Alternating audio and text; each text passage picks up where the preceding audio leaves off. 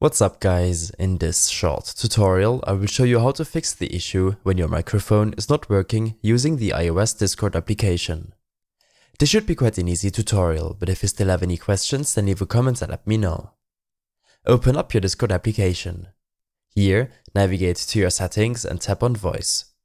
In your voice settings, set the input mode to voice activity. When disabling the sensitivity, you can change the microphone threshold.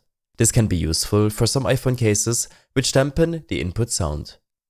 When this is done, check if you gave permission to the app to utilize your microphone in the first place. In your settings application, open up Discord and make sure that the microphone option is toggled on. Next, make sure that your device is not connected to any speaker or Bluetooth device. This will prevent Discord from trying to use an external microphone.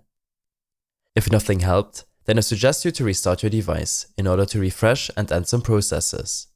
Additionally, you should make sure that you're running the latest update. I hope this helped you out, leave a comment if you have any questions and see you in the next one.